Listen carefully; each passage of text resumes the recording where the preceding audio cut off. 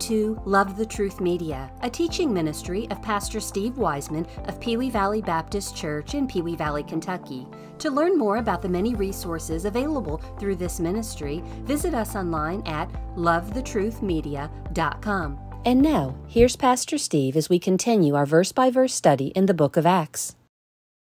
Turn to Acts chapter 5. We'll continue our verse by verse study in the book of Acts this morning. We've made our way to verse 12 of chapter 5. Today we'll start a two part uh, message.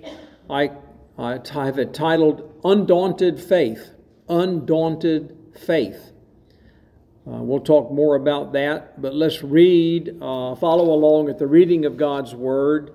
Uh, beginning in verse 12 of chapter 5, we're going to read down to verse 28. You can remain seated this morning as we read. Follow along, beginning in verse 12. And by the hands of the apostles were many signs and wonders wrought among the people, and they were all with one accord in Solomon's porch.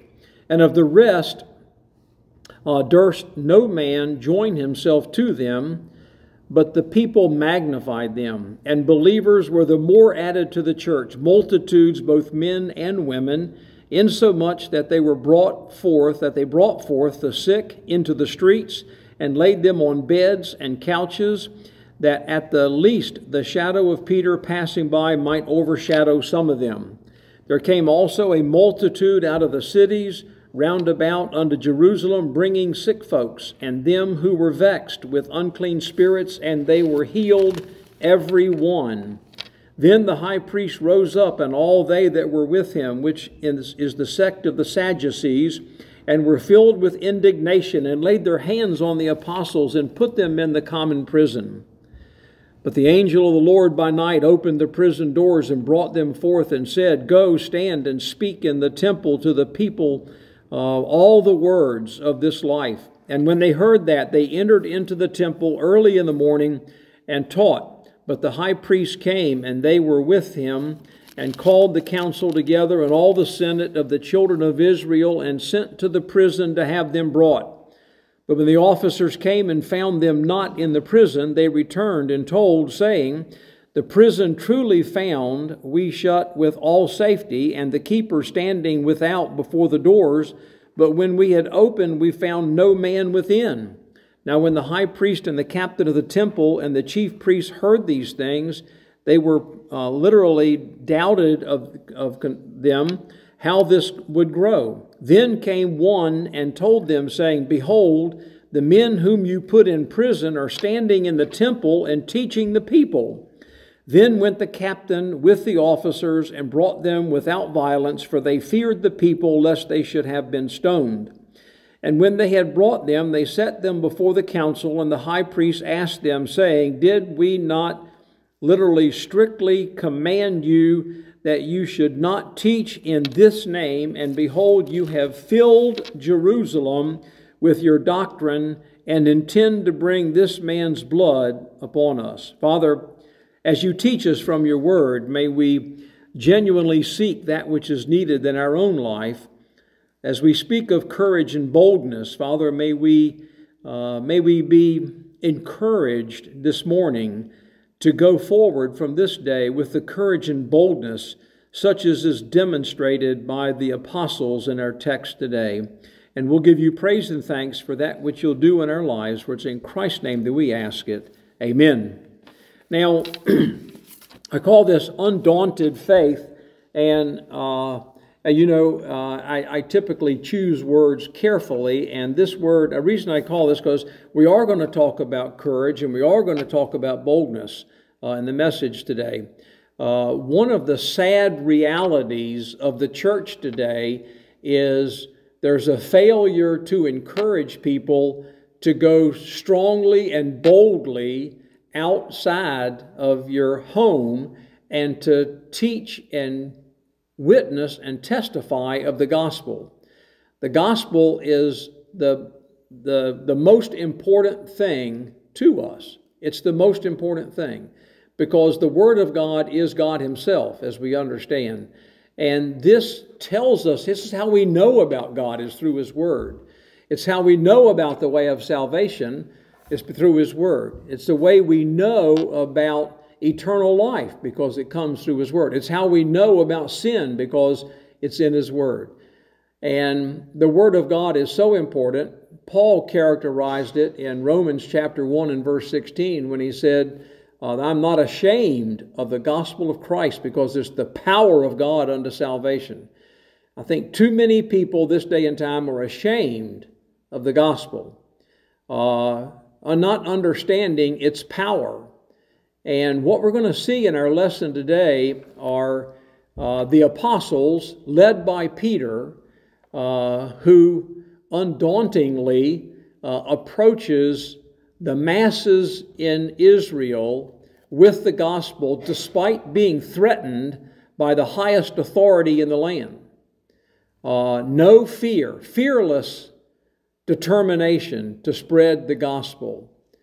And it shames us, shames us, and how, how we uh, fail to even talk, much less to boldly go forth with the courage that these apostles had when they went forward.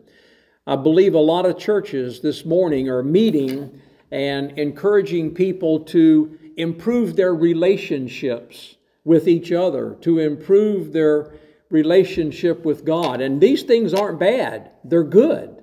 They're good. But from week to week and from month to month and year to year, they leave out the strong meat of the Word, which challenges us, and in fact demands us to be the soldiers of the cross that God wants us to be. Uh, and we understand from Ephesians chapter 6 that it is a literal spiritual battle raging all around us. We're not living in a world that's just sort of free and easy and easygoing. The people of the world live that way. But believers should understand there's an absolute war. If we had, you know, we, we had that balloon that came over the United States and went all the way from Alaska all the way down off the coast of South Carolina. And everybody's attention was drawn to this one balloon because it came from China. Folks, there's a there's the Satan and his demons are, are very active. He's the prince and power of the air, and they control this world. This world is their domain. Uh, we are in the, God, in the hands of God, those who know Christ through faith, and we are to be warriors for Him, literally fighting this spiritual battle every day.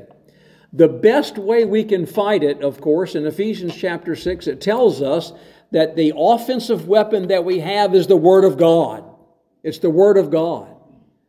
And so we should be taking the Word of God and going forward with it. We see Peter and the other apostles doing just that today.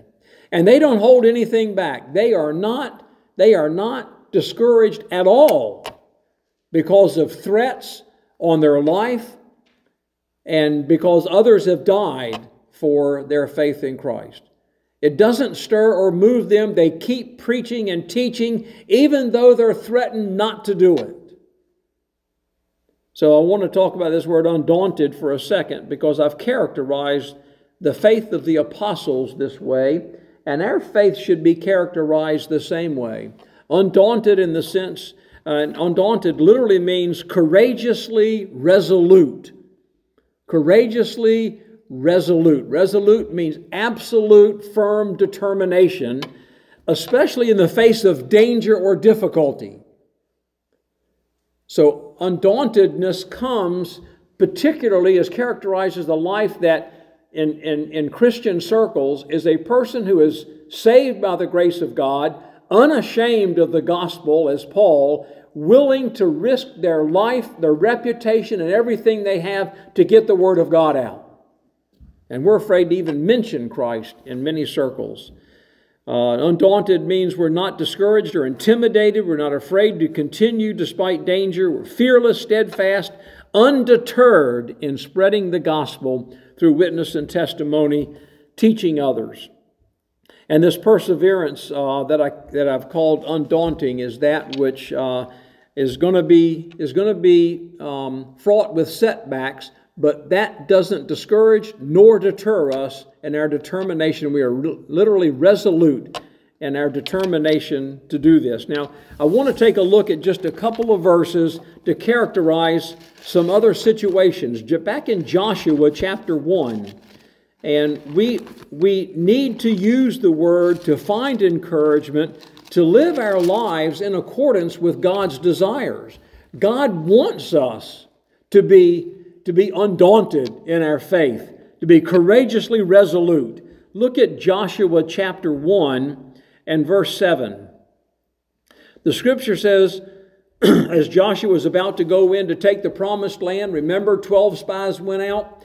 10 came back with a report that said, Those people are huge. We, there's no way in this world we could take that land. The natural mind understood without the power of God, there's no way to do this. Two people thought, with the power of God, it's a piece of cake, right?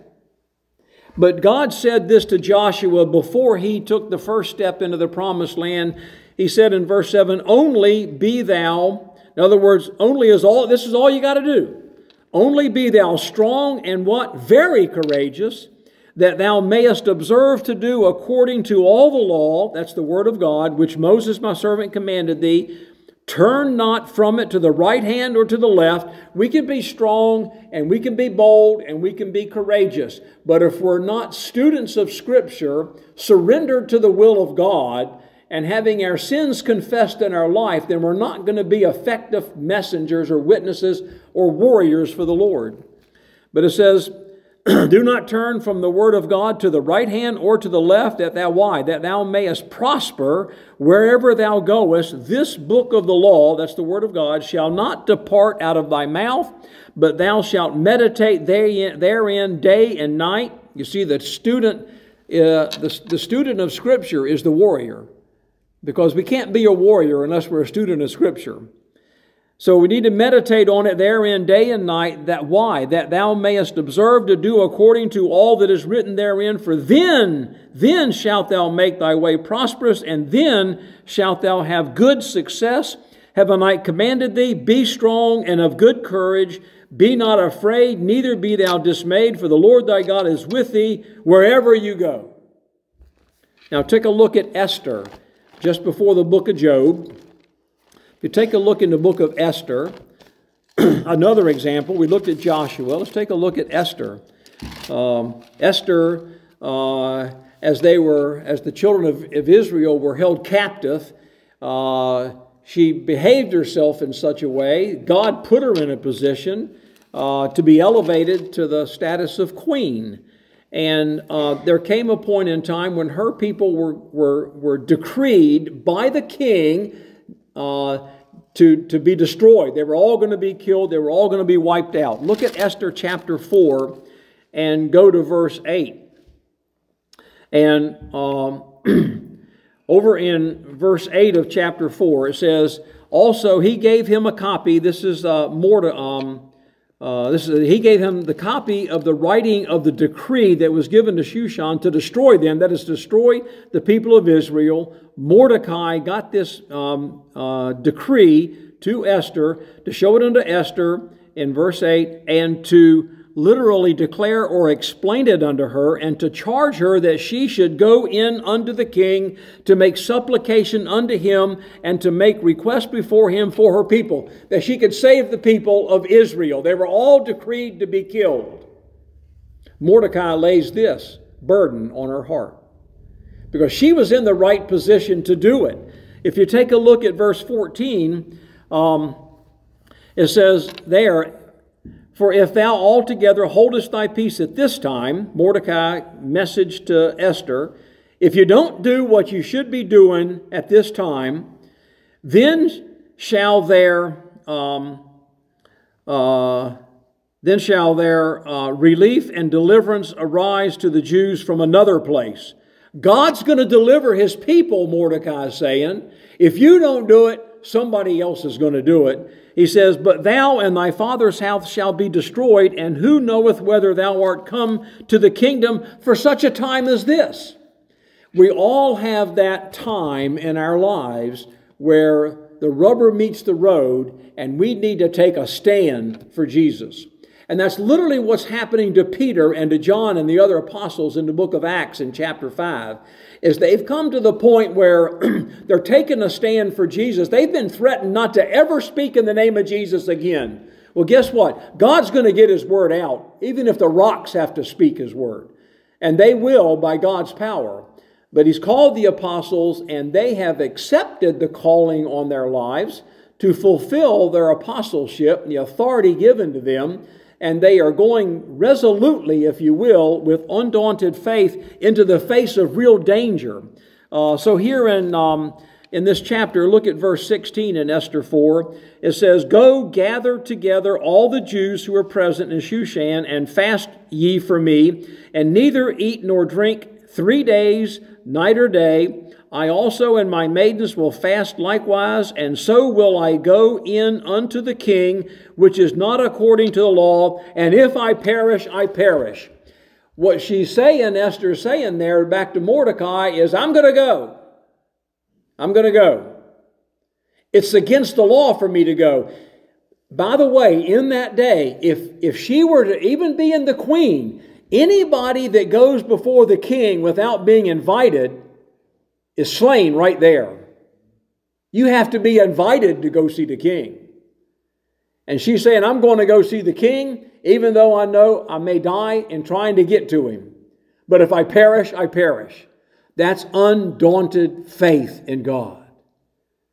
Sometimes I wonder if we really do take a stand for the Lord in our lives too many churches and pastors are preaching that it's an easy believism, and all you do is just follow the ways of Jesus. Jesus is all about love and kindness and compassion, and we just need to do the same thing to our family, to our friends, to our neighbors, and all of our relationships and associations. Uh, we need to know how to be kind to people and gentle to people, and um, and they even though much of that is absolute truth they leave out the rest of the story. Because we're not called just to live a good life. This isn't even our world. This really isn't our life because our life is eternal life. This body now is not ours, it belongs to God. And we're to use it, we're supposed to be stewards of our own body and our mind and use it the way God wants us to use it. And that is to declare Him wherever we go and to speak to others and to be bold in our profession of faith. Look at Acts chapter 20. We'll just uh, take a peek forward. We'll get there to do more verse by verse. But Paul was being um, encouraged by God to go to Jerusalem. And the, he's, he's been at Ephesus for a couple of years and he's speaking to the, to the Ephesian elders at this point, and they don't want him to go because there's danger in Jerusalem. So we'll pick it up in Acts chapter 20 and verse 18. And when they were come to him, that's the Ephesian elders, he said unto them, that as Paul said to them, Ye know from the first day that I came into Asia, after what manner uh, I have been with you at all seasons, serving the Lord with all humility of mind and with many tears, with trials here, if you will, which befell me by the lying in wait of the Jews and how I kept back nothing that was profitable unto you, kept back nothing. See, what's profitable to us? Talk about hell, talk about sin. Don't just skip over those things and go on and talk about the flowery things that get people to walk a flowery path of love through the rest of their life and be kind and gentle to others.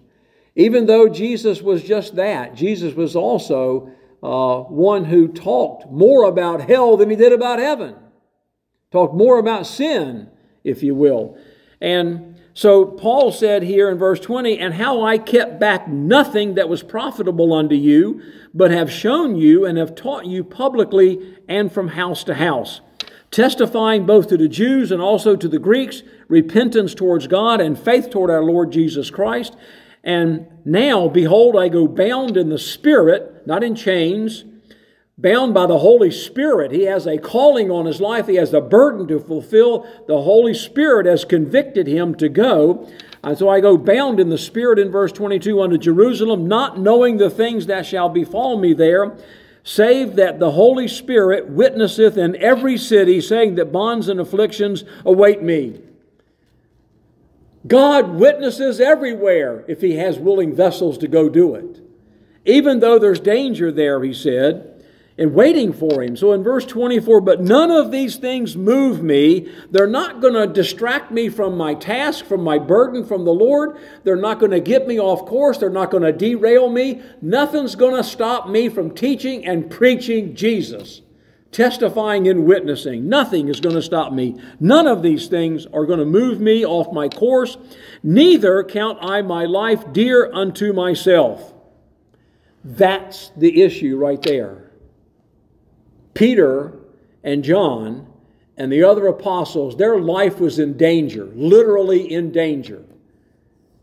Did they stop teaching and in the name of Christ because their life was in danger? No. We're going to see where they, they were jumped on opportunity to do it even though they knew it was coming. And so if you look there uh, in verse uh, 25, it says, um, and 24 will continue, I don't count my life dear to myself so that I might, if we count our life dear to ourselves, we won't finish our course with joy. We can't count our life. We can't count anything about our life. We can't count our reputation as dear unto ourselves. Why? That we might finish our course with joy and the ministry which I have received of the Lord Jesus to testify the gospel of the grace of God. We all have a ministry. Ministry being service. Every person that's saved by the grace of God is called to serve. Serve who? Serve God. Serve His will. Serve His way. Do things God's way. So then in verse 25 he said, Now behold, I know that you all among whom I have gone preaching the kingdom of God shall see my face no more. Wherefore I testify unto you this day that I am pure from the blood of all men, for I have not shunned to declare unto you the counsel of God. And then in 1 Corinthians 15 58, it says, Be ye steadfast, unmovable, always abounding in the work of the Lord. So we go back to our text in Acts chapter 5, and we take a look at these apostles who literally have this undaunted faith in the face of great danger. Now, the first point I want to make here, and again, the, the message is undaunted faith. It's going to start in verse 12 here in Acts chapter 5 and go down to the end of the chapter. Today we're going to saw off on the first part of this message. And the first point on and this message is the power of obedience. The power of obedience. In order to have undaunted faith, literally not going to be deterred by even threats to, to be killed, that we have to have the power of obedience. And our obedience uh, brings the power of God into our life. Look at verse 12 here in Acts chapter 5.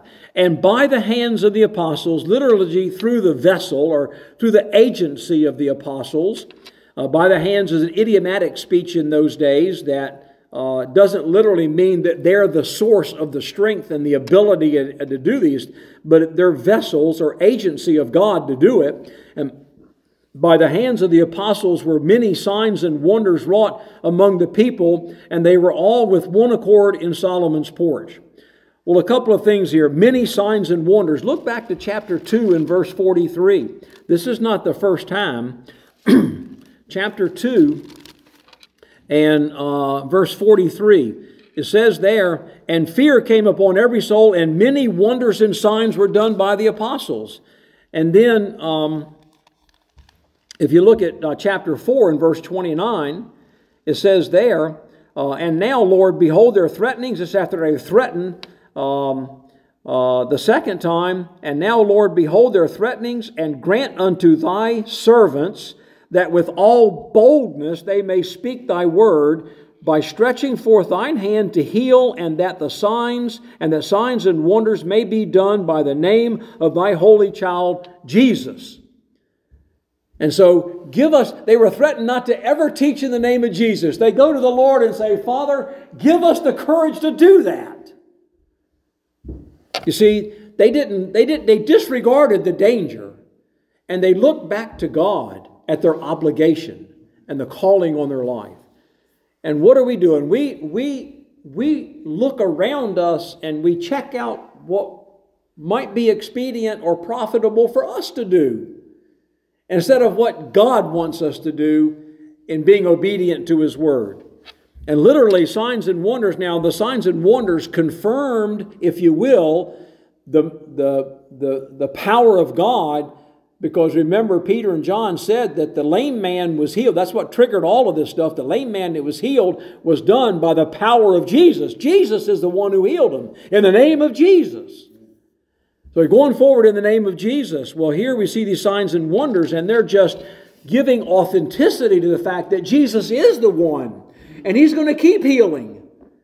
And we see that happening over in chapter 5, and there we see it in, in chapter 4. And and uh, we, if we go back to the Gospels, Jesus told his apostles that he had called that you're going to be able to do even greater things than I have done signs and wonders. And here they are in the midst of the height of this. The place where they're meeting here in verse 12 is Solomon's porch. This is where all these signs and wonders are being worked. Now, Solomon's porch at that time Remember, that's where the lame man was sitting at Solomon's porch. That's where he was laying, where they laid him daily at the temple uh, to go in. They laid him there, and he was healed there, and then he went into the temple. Well, Solomon's porch became popularized with all these people getting saved, became the place where the Christians were meeting at that time. So this is where they were meeting, and that's why Peter and the other apostles were there, and the church was meeting there.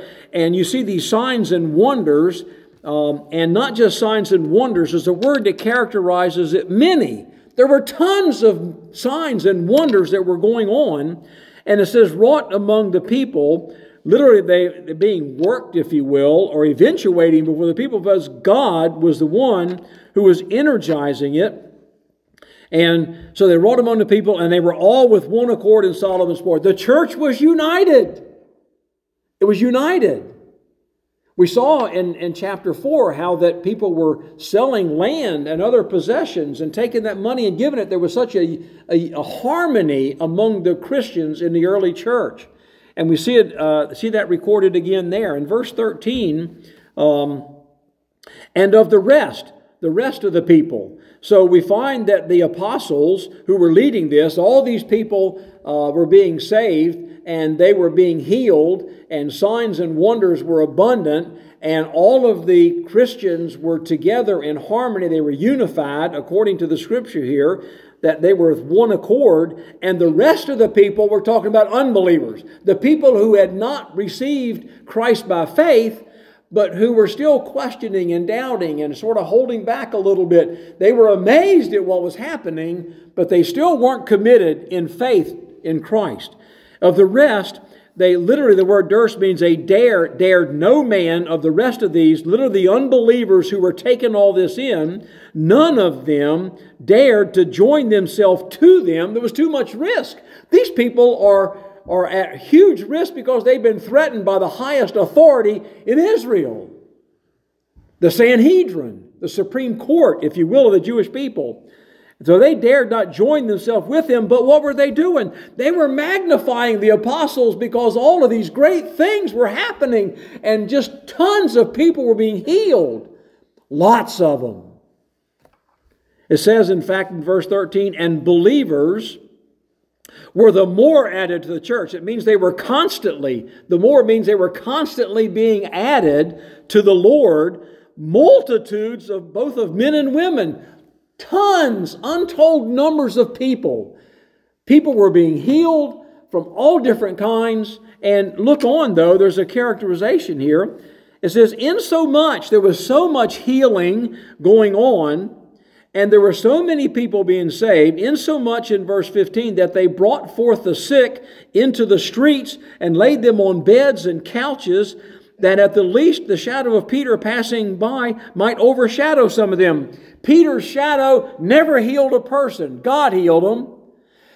The, the shadow, they were putting them under the shadow that Peter's shadow, when he passed by, might heal them because they saw Peter as the leader.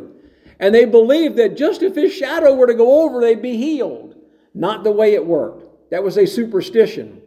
Uh, if you go on to the next verse, it says, There came also a multitude out of the cities. So there were cities around Jerusalem.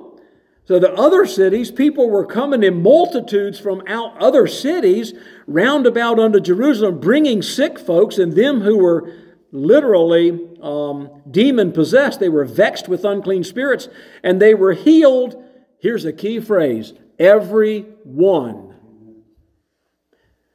Every person brought from all these cities that were sick or they had demon possessed, every one of them, the demons were cast out and the people were healed. Not one failed to be healed or devoid of the demon possession. Every one of them were healed. You say, wow, this looks like a, a, like a bunch of piranha in a feeding frenzy. You know, it's just, woo, it's just blossoming. Well, it is. It, it, it, I, I just, the, no wonder there were so many people standing by in amazement. If you didn't have faith in Christ, you're still amazed by what's going on.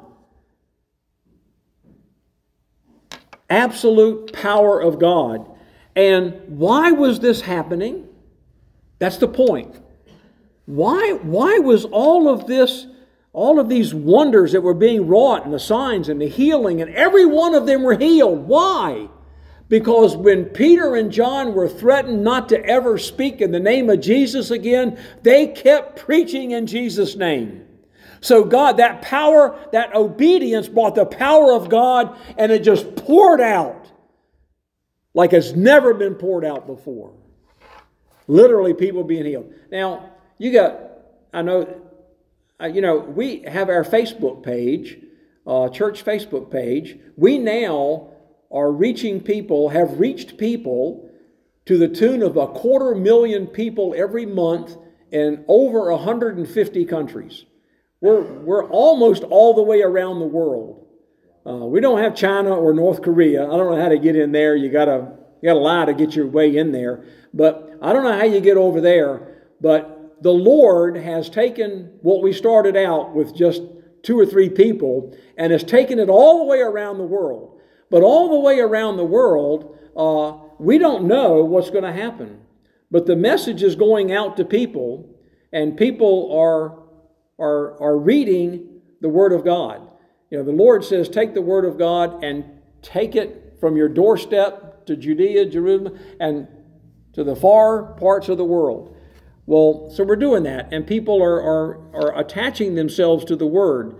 But so what's happening is through all of those contacts that I have around the world, there's untold numbers of them in foreign countries, particularly, not the only place, typically in third world countries or borderline third world countries where people have gone in and they now teach deliverance and healing, and they teach the people in the church how to do this, and they have classes on how to do it.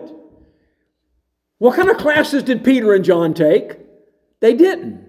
It's the power of God that does this.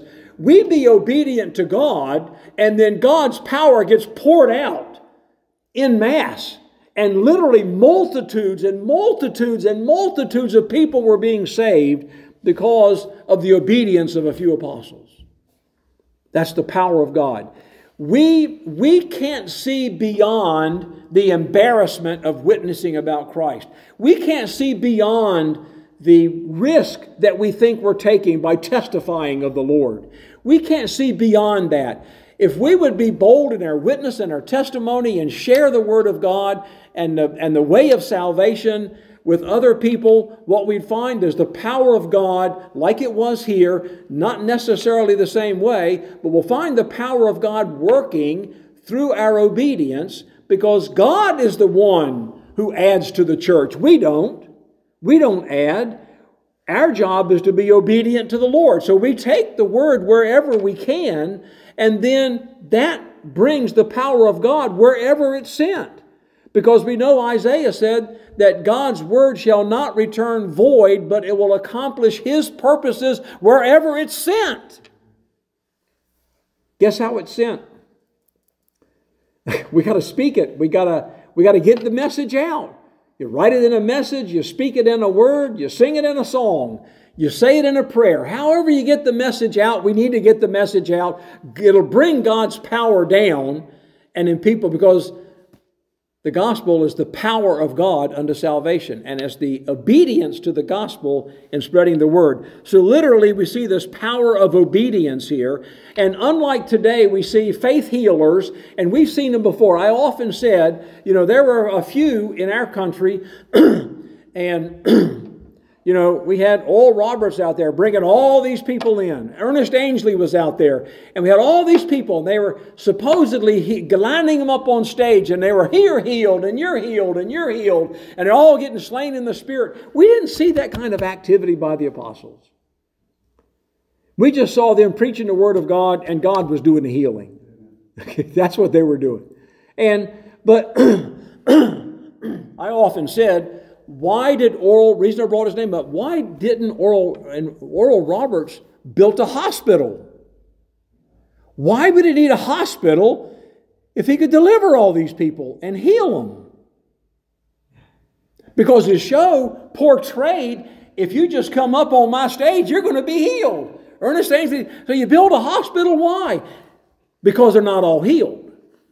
They portray it to look like that.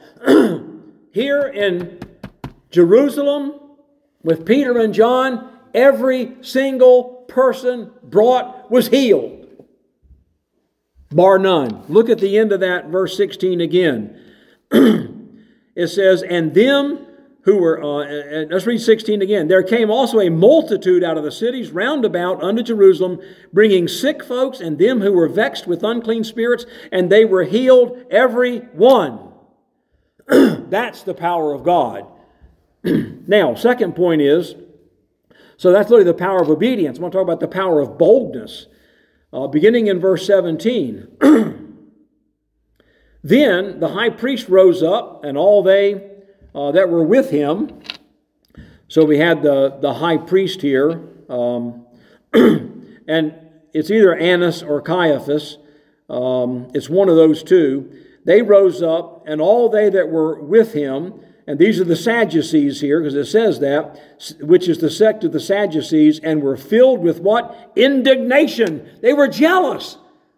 Because Peter and John were leading this huge entourage, and just hundreds and thousands upon thousands of people were coming and getting saved by the grace of God.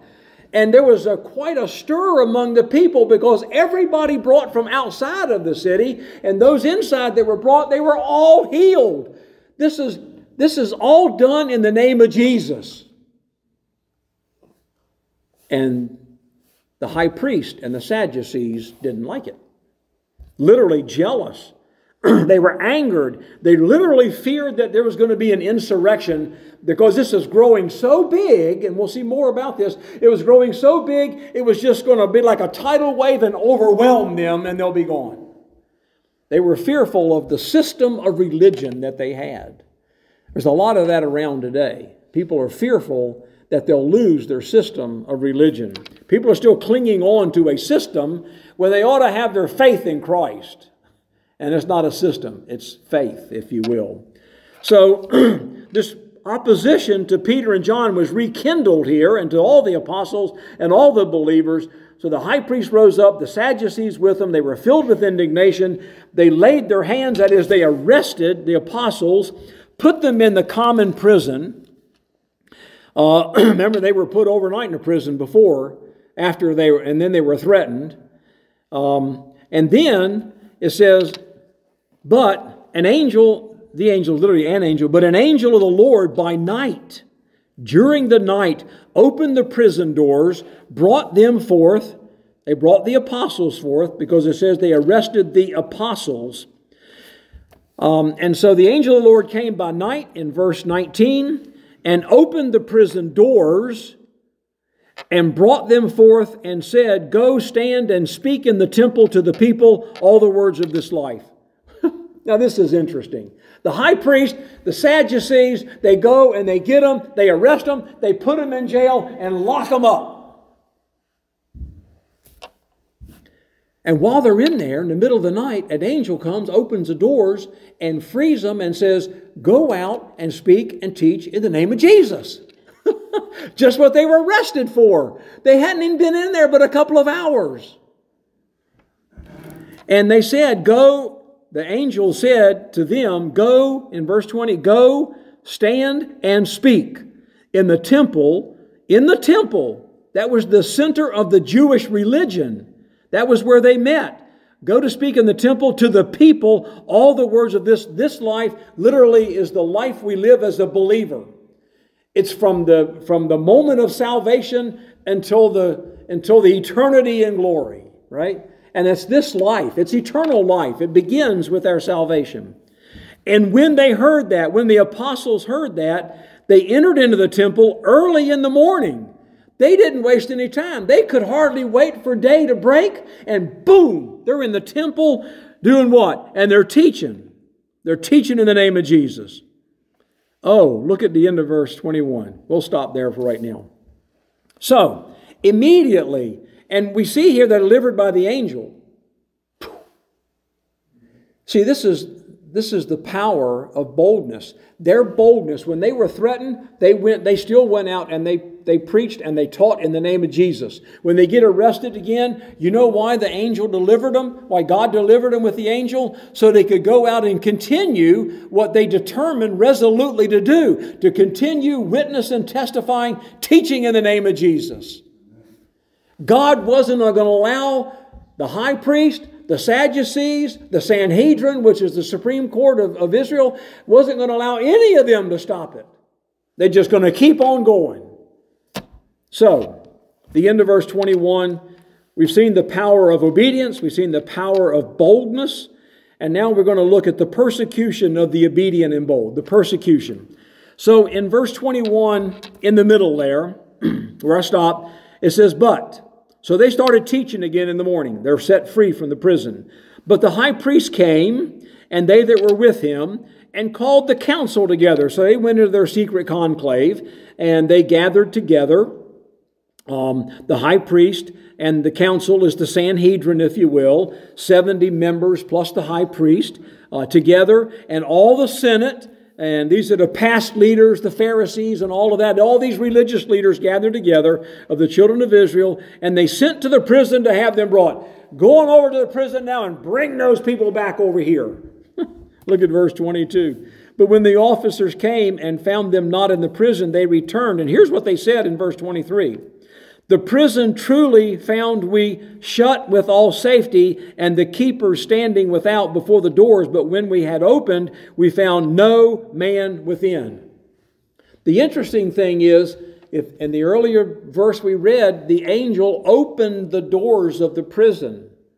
When they went in to, to get them, the doors were shut and they were locked. they were shut and locked.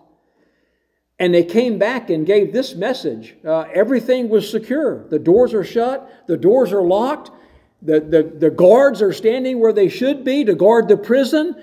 Nobody's fallen asleep. Everything's like it should, but there's no prisoners there. That's the power of God working. And what we see here is God has delivered them out of the prison so they can go courageously and boldly as they had done and continue preaching the Word of God, and they're going to be further persecuted for doing that. The apostles knew that when they, when they went early in the morning to the temple and started preaching, and the high authorities knew that they were going to still persecute them. But what they didn't know is they couldn't stop them. So, what we find in, in verse 24 is now, when the high priest and the captain of the temple and the chief priests heard these things, they literally they doubted of them. That means they were perplexed, thoroughly perplexed to the point of despair, if you will, concerning them how this would grow. They were so worried about this thing getting bigger and bigger and bigger and bigger. They want to stop it. I believe that's why the, the ungodly people in our country, from all uh, angles of life, are trying to stop Christianity because God's going to have it grow. And we know the days are going to get worse, but you know, God's going to God's going to keep keep the Lord from coming to take his church home until the last sinner gets saved by the grace of God. So they they they were really concerned, and this, this they were just in despair and desperation about how this would continue to grow. That's why they locked them out of the, of the city. And now they're back. So in verse 25, then came one person and told them, saying, Behold, the ones you're looking for uh, that you put in prison are standing in the temple and they're teaching. Well, they knew what they were going to be teaching. They're teaching Jesus. So, verse 26, it says, Then went the captain with the officers and brought them without violence. Why did they not harm them or treat them roughly in taking them to the high priest and the Sanhedrin? It tells us the end of verse 26. The four is the reason why. For they feared the people lest they should have been stoned. They, there was such a huge multitude, they were outnumbered out there. If they'd have gone out there and started treating those people badly, because all these people, they were highly esteeming the apostles for what was being done. They knew something great was happening here. A lot of them didn't know that it was God. All those unbelievers standing by who were didn't want to associate with them because they, they knew they'd be put themselves at risk of being killed because they'd already been threatened. But neither did they put faith in Christ. So they're sort of out there still doubting and perplexed about this whole thing, but amazed at it. And so what we find is uh, they're going to they're going to bring them back in now, uh, and so they um, they're teaching in the temple. In, in, in the temple. So in verse 26, when the captain with the officers brought them without violence, they feared the people that they should have been stoned. They thought they might be killed. So in verse 27, and when they had brought them, they set them before the council, that's the Sanhedrin, and the high priest asked them this. In verse 28, he said, Did not we strictly, uh, and um, this, the word literally means strictly, strictly command you, it's an edict, that you should not teach in this name. He couldn't even say the name of Jesus. He hated it so much. He hated it so much. Now, among the Sanhedrin, the Sadducees. The Sadducees didn't believe in angels. The angel's the one that set them free. They didn't believe in the resurrection. Christ had been resurrected, and he's and Christ is the one who's the power behind all of this, um, all of this work that the apostles are doing.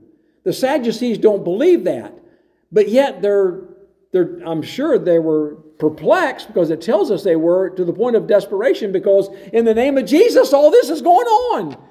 Jesus had to have something to do with it. They got to stop it. So the high priest here said, or the council um, said, "Don't didn't we strictly command you not to teach in this name, that is the name of Jesus? And behold." You have filled Jerusalem with your doctrine and intend to bring this man's blood upon us. so they're afraid that they're going to be die now because they, they really fear this insurrection. And we commanded you not to ever do this again, and now you're endangering us. Um, and catch this you have filled Jerusalem with your doctrine. How does a city or an area get filled? Doctrine is teaching. How does it get filled with the teaching of Scripture? By people who have faith in Christ, who take it upon themselves to do the work of the Lord and to go out and tell people about the teaching of Christ, the doctrine. That's how. Now they did it. They were, they were called as apostles to do that. But every believer saved by the grace of God is called to speak of Jesus. Every believer. Not one of us are to keep our mouth shut and keep our faith quiet. What kind of faith do you have if you're not even willing to talk to somebody else about the one who has saved you by his grace, given you the free gift, the free gift of salvation, set you free from the bondage of sin, and has guaranteed to you an inheritance and an eternity in heaven where it's perfect? How do you stay quiet about that? See, Peter and John couldn't. Man, did they ever stir it up? Did they ever stir it up? That's why I call this undaunted faith. Despite all the threats, they kept going and going and going. Put them in jail, you know, and, and the angel comes and lets them out, get over to the temple and start preaching. First thing in the morning, bam, there they are teaching, and they come and they get arrested again. So you don't think this is something to be taken lightly. Peter and John were literally putting their life on the line every time they mentioned the name of Jesus. Because all it took was one person to run back to the high priest or the, the Sanhedrin or the Sadducees or the Pharisees and say, I heard this guy teaching in Jesus' name again. Oh boy, they'd have run and got him. And that's what happened here. One guy came and told him, says, Hey, you know, they're over here at the temple preaching. That's what they said. They're going to be ratted out. If we start teaching in the name of Jesus, people are going to call, call us out. They don't want anything to do with us. They don't want to hear that. But folks, we can't, we can't be ashamed of the gospel. We can't be ashamed of the gospel. And if we're not willing to freely and openly talk about it, we're ashamed of it. Let me tell you why. I'll give you a good analogy and we'll close with this. Do you have grandchildren? Many in here do. Maybe not. You might know some people that do. Um, but those who have grandchildren, they're like precious gems, right? They're like precious gems.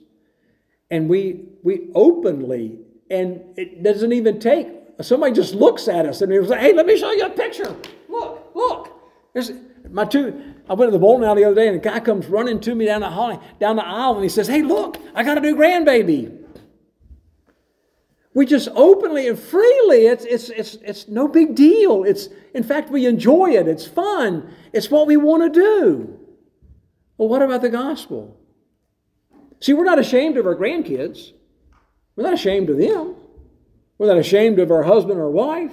Not ashamed of our family.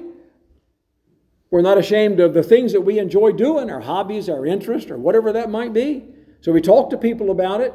Golfers love to talk about golf, and bowlers like to talk about bowling. Hunters like to talk about hunting, you know. And those who make quilts love to talk about quilting.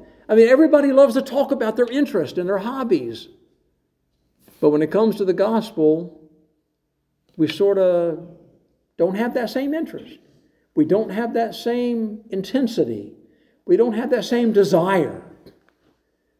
Because we're ashamed in some circles at least, if not in many circles in our life, to free, freely talk about Jesus. And then we, we leave a situation and we maybe the Lord stirs our heart and we say, well, yeah, I didn't really find a good opportunity to get it in. Because we'd have had to interrupt the conversation and say, let me tell you about somebody, right? We need to break the ice and to go forward. I mean, these, these guys were just doing the Lord's work. They're no different than you and me. No different. They're people that God called, and they're literally willing to do God's beck and call. And any vessel that will, that will live an honorable life before the Lord, vessel being a person, any vessel willing to live an honorable life before the Lord will be used by God to do great things. It doesn't have to be on a great scale. It may be a witness here and a testimony there. But we sort of even use that as a, well, you know, I've, I've led like three people to the Lord, or, you know, I, I talked about Jesus to, you know, one person in the last two months. You know, we sort of think we're doing our job here. How many people did you tell about your grandbaby? Everybody you met. You called them, you wrote them, you texted them, you showed them a picture, you went and visited them, you called them over, invited them. You know, but we don't have the same desire to carry the message of Christ that we do of our personal interest. Something's wrong. Something's wrong. And we sort of sit around and look at each other and say, okay, what needs to change? We just need to be resolute and undaunted in our faith. In other words, it doesn't matter who it is, if it's a family member, a friend, a neighbor, whoever it is, we're going to bring Jesus' name up and talk about him. Even if we need to interrupt the conversation, because it may end without us bringing it up. And it didn't come up because we didn't interrupt the conversation to do it. And then somebody saying bye and say, well, you know, I was going to talk to him about the Lord, but okay, see you later. You know? It needs to be on our agenda. It's got to be on our agenda. We call ourselves Christians. Christians are truly, by definition, servants of the Lord. And we're not serving Him if we're not talking about Him. People that aren't saved can live a good life. They can live a good life in the eyes of the world. You know, not harm people, you know, not, not you know, not be jealous and envious and hate and all that kind of stuff and sort of love everybody. I know a lot of people, they're, they're very kind and very generous and very loving. And sometimes you look at them, if you're not close to them, and you think, well, I wonder if they're a Christian or not. There's a lot of those people around that are living a good life in terms of the world. But we know there's none good but God. And the only way that we're good is that God puts His righteousness on our account. That's how. So what we don't know is who's saved and not saved. And even if they are saved, boy, what a great what a great witness and testimony to talk to people about the Lord, and they talk back to you about the Lord, and then you get this little thing going on and say, "Oh, I didn't know you're saved," and then you have something that's beneficial for both of us in a in a conversation or in a group conversation where we sort of edify each other and build each other up. So it's good, if you will, to speak about the Lord Jesus wherever we are. Are we willing to do that? And you know what we see here is light years ahead of where most of us are, if not all of us. We don't even have threats on our lives like these people.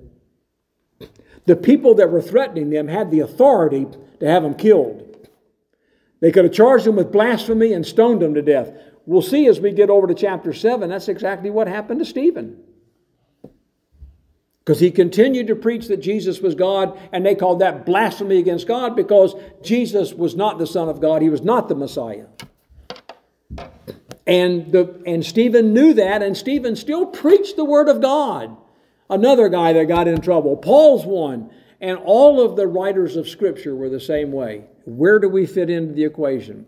We need to look introspectively at ourselves and find out what is it that needs to change in our life and it needs to change now because i keep putting it off putting it off putting it off. Now's the day to make a decision. I'm going to be resolute in my faith and i'm going to go out undauntingly if you will determined that i'm going to carry the message of jesus wherever i go. And people are going to know about him. And if i lose friends if i lose family members or whatever it is so be it it'll just have to cost me Let's stop soft peddling the gospel. Because we tell, tell people, you know, hey, well, you know, if you if you if you sort of you know follow Jesus, your life will be so much better. It's a lie of the devil. It's a lie of the devil. Uh, the believer is much more subject to persecution and risk and death than unbelievers.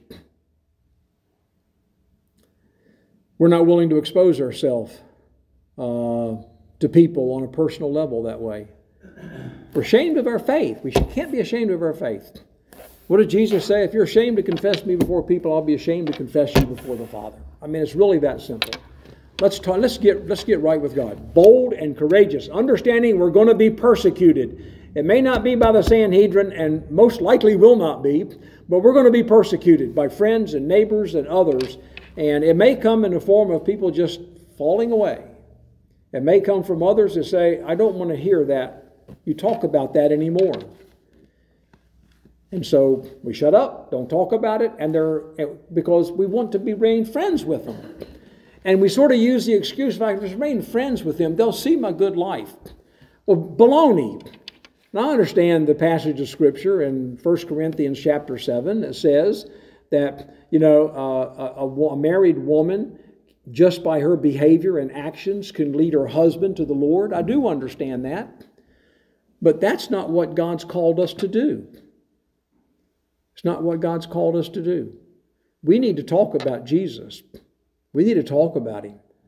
Because you know people people can see that that good behavior, but eventually they're going to get to the point they want to know what it is. But not everybody's going to be that inquisitive. So we need to tell them. And we don't know the difference on who they are. Let's stand together, if you will.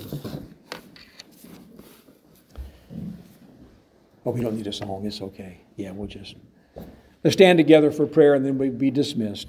Father, we thank you for your love, for your mercy, and for your grace. What a great day it's been around your word. And we ask, Father, that as we have received that's what you've given us to us today, that we'll receive it with gladness and with a desire and intention to do something about our testimony and our witness and our talking about Jesus. May we share Jesus wherever we go and to whomever we meet. May people know the one that we serve, that we've put our faith in. And we know, Father, that you'll strengthen us in the process. We know that uh, our reputation will be at risk, our, our, our life even may be at risk, or somewhere in between. And Father, regardless of the consequences, may we always be bold and courageous to witness about Jesus Christ because He is our Lord and Savior. We give you praise and thanks and ask that you'd watch over and keep us as we make our through the coming week. Bring us back at the next appointed time. Uh, restore power for all those who don't have power, Father, among our number and throughout our community. We just simply ask these things, for it's in Christ's name that we ask it. Amen.